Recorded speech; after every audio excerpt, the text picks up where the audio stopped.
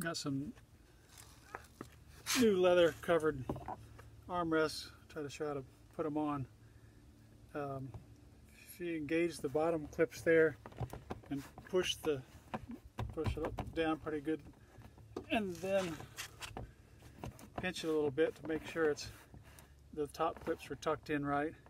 I like to stick my leg outside the door so I get something to hit, hit against. And if you hit it straight that way,